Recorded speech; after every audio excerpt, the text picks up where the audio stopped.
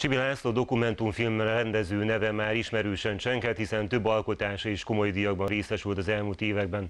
Most egy újabb dokumentumfilme arat sikert, címe Nussbaum 95736.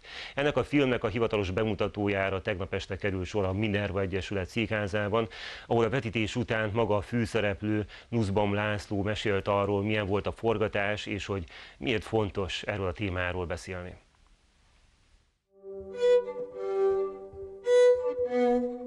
Most csak annyit akarok megjegyezni, hogy az évek teltével hogyan nyomja el a logika, a tudás, az értelem, az élet valósága a pillanati érzelmeket.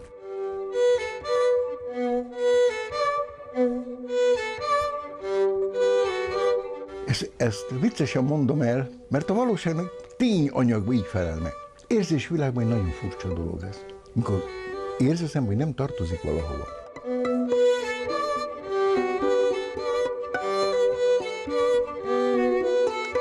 És nézek, és mondom, 16 éves vagyok, nekem nincs lakásom, nekem nincs pénzem, én még az iskolákat, iskoláimat nem fejeztem be, mesterségem sincsen.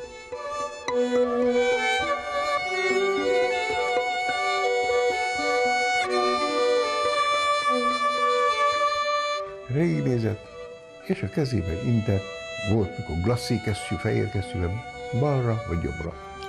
Meg kell mondjam, még fütyült is operáriákat, és nem is rosszul.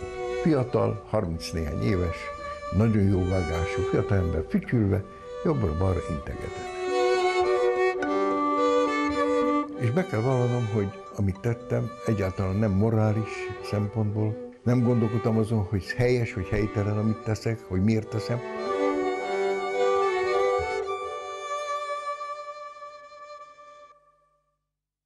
A Nussbaum 95736 című dokumentumfilm néhány nappal ezelőtt nyerte el a Lakiteleki Filmszemlén a Népfőiskola Alapítvány, valamint különböző Magyarországi iskolák külön díját.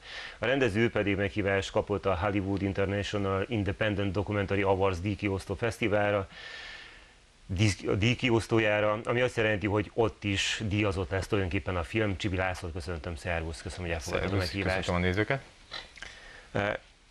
azt jelenti, hogy díjazni fogják? Vagy hogy működik ez igazából? Mm, többet valószínűleg decemberben tudnék én is mondani erről.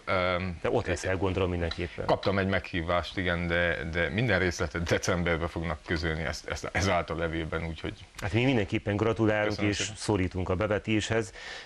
Mikor és hogyan született meg ennek a filmnek a koncepciója, gondolata? Filmnek a maga, a konkrét filmnek a, konce- a terve az körülbelül két évvel ezelőtt született meg, de de ez egy olyan történet, ami nyilván sok más történettel, amiből már lett film, vagy lesz a közeljövőben film, ott motoszkált valahol bennem több éven keresztül, és ez nyilván az, az olvasmányaid, a tapasztalataid, a kíváncsiságod, az érdeklődési körödből eredendően születnek meg tulajdonképpen ezek a történetek. Szerintem más is így van vele, akár filmet készít, akár leírja, akár megfesti, vagy lefényképezi.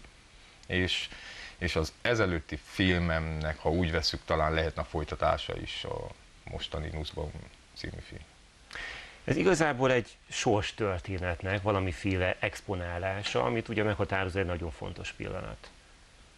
Uh, igen, hát igen. Um, mi a kérdés? Hát az lett volna a kérdés, hogy, hogy hogyan tematizálja ezt a film.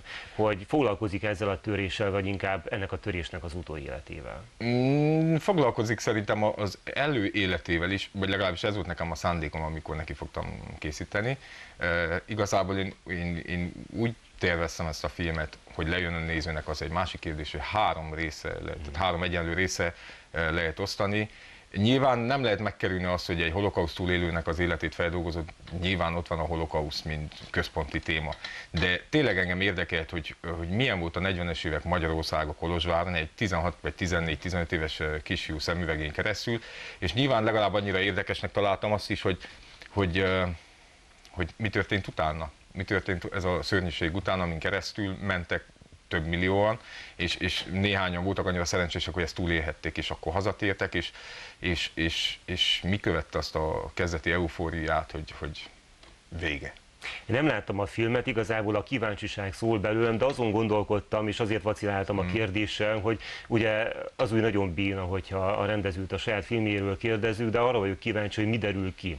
Tehát, hogy, hogy számodra milyen tapasztalat ez. Ugye ezek a törések, egzisztenciális krakkok borzasztóan fontosak. Az is, hogy hogyan tematizáljuk utána, mit kezd vele a társadalom, és hát ez egy olyan ügy, amiről sokat beszéltek, de hogy ez valahogy személyesen megközelítve egy ember esetében egy másfajta lehetőséget, perspektívát ad. Mennyire működött együtt Nussbaum úr?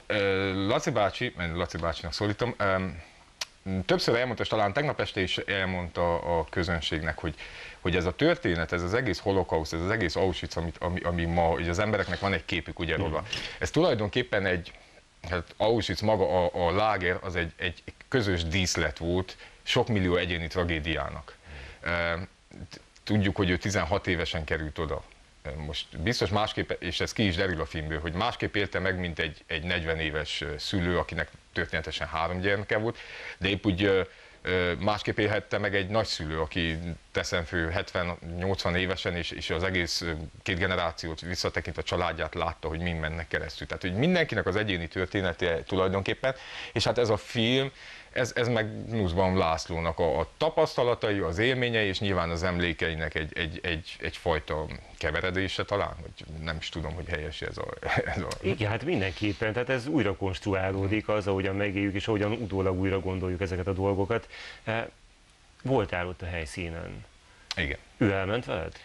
Németországban azt kell tudni röviden Laci bácsinak a sorsáról, hogy a családot azt a Birkenauba deportálták, őt később, négy hónappal később átvitték egy németországi lágerbe, a Buchenwaldiba, és ott érte őt a felszabadulás 1945 áprilisában.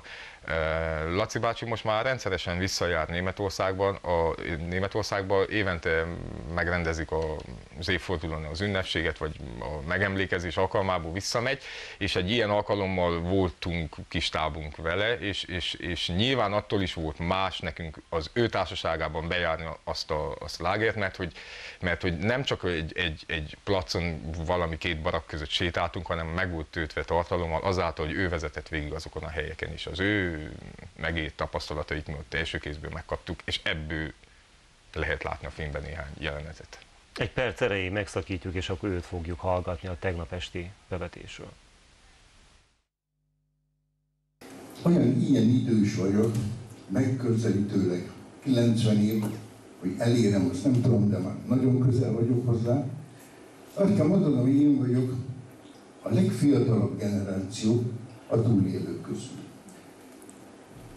ezért is kerültem, hogy szerepeljek és elmondjam az életemet a filmhez. A jóformán alig-alig lehet ma már választani valaki közül, aki auschwitz volt.